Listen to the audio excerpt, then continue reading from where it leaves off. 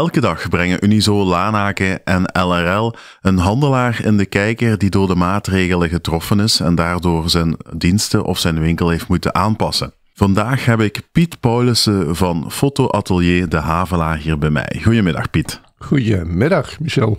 Vertel eens, uh, wat doe jij nu? Ja, heel veel en eigenlijk niks. Hè? Daar komt het zo'n beetje op neer, maar ik denk dat dat voor veel mensen geldt. Zelf kan ik in mijn winkel wel wat bezig zijn en uh, wat werk doen, wat opruimen, wat boekhouding doen. Um, maar op een traag ritme, omdat we al heel snel door hadden. Eerst moesten we de weekend sluiten. Heel snel is dat veranderd naar uh, volledige sluiting.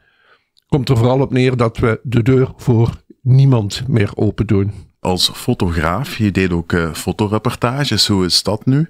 Dat is allemaal uh, afgelast, gecanceld. Sommige dingen waarschijnlijk ook uitgesteld. Dus daar zal misschien nog wel een beetje ingehaald gaan worden in de nabije toekomst. Of zo gauw dat de situatie verandert. Maar dat is afwachten. Daar kunnen we nu echt niks over zeggen. Anderzijds bied je wel nog voor je klanten een extra dienst aan, hè?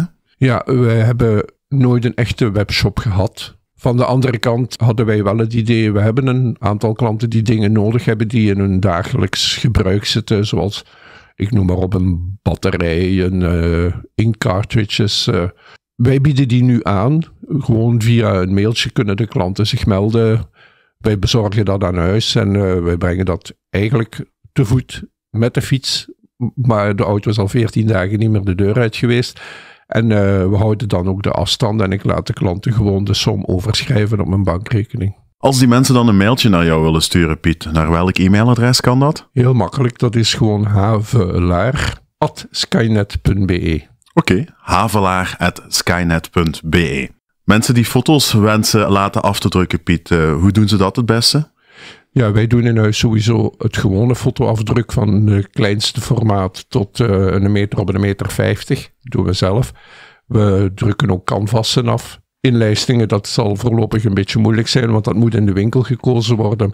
Maar willen de mensen foto's afgedrukt hebben, omdat ze daar nu waarschijnlijk wat tijd voor hebben om daarmee bezig te zijn, heb je maar een paar foto's, kan je die via mail doorsturen. Heb je heel veel foto's, kan dat via WeTransfer op hetzelfde e-mailadres. Als ik weet de aantallen, het formaat wat ik moet afdrukken, doen we dat met alle plezier. En zoals de andere dingen brengen we ze gewoon aan huis. Mensen hebben nu wat meer tijd thuis, dus ik kan me wel voorstellen dat heel wat mensen hun digitale foto's allemaal aan het sprokkelen zijn om eens terug een gezellig ouderwets familiealbum, fotoalbum te laten afdrukken. Dus zo'n fotoboeken, daar kunnen ze ook uh, bij jou voor terecht, hoop ik, hè? Ja, er zijn eigenlijk twee mogelijkheden. Gelijk we juist zeiden, foto's afdrukken, die kan je klassiek inplakken in een album, zoals het al decennia lang gebeurt.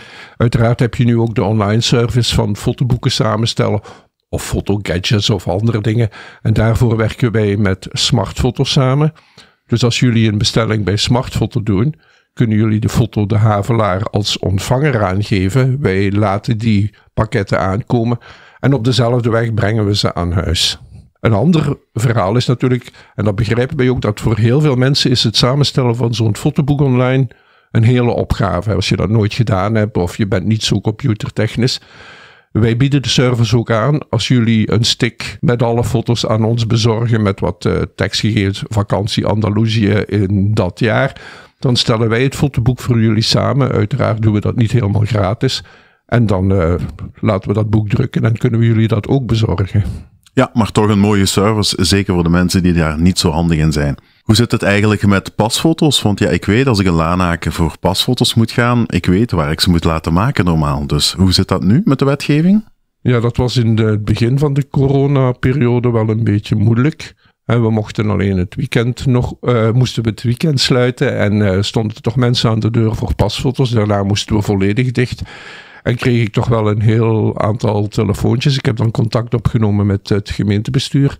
En het is zo dat eigenlijk de gewone pasfoto's voor de verlenging van een identiteitskaart niet levensnoodzakelijk zijn. Mhm. Dat wil zeggen dat uh, in principe als jouw identiteitskaart uh, op vervallen staat en je had de aanvraag moeten doen, dan is het zo dat die volgens het gemeentebestuur de identiteitskaarten gewoon geldig blijven. Want die moet je ook gebruiken soms voor in de ziekenhuizen aanmeldingen te doen en zo. Daar wordt het mouw aangepast. Het enige wat zou kunnen, dat is dat iemand een foto nodig heeft voor een internationaal paspoort. Als Ah, ja. die om werkomstandigheden of zo toch op reis moet. Maar daar is de afspraak dat ik dan gecontacteerd word door het gemeentebestuur. En dan wordt er wel een pasfoto op afspraak gemaakt. Ja, echt in die eh, noodgevallen kan Ja. dat nog, laat het zo zeggen. Als het Voilà. echt noodzakelijk is. Ja, oké. Als mensen je willen bellen, Piet, hoe kunnen ze dat het beste doen? Ik denk dat ik dan best mijn mobielnummer even geef. Dat mag altijd. Dat is eh 0498 520 875. En Ik zal het eventjes herhalen voor de mensen die het nog niet hadden opgeschreven eventueel. 0498 520 875. En dan kun je Piet Paulussen persoonlijk bereiken voor al zijn diensten in zaken foto's. Piet, hartelijk dank voor je komst. Ik wens je ook nog veel succes in eh, de volgende maanden. En ja, goed, weldra kunnen we weer allemaal bij jou terecht voor pasfoto's, inlijstingen en alles wat er rondom hoort ter plaatse in de winkel. Dankjewel.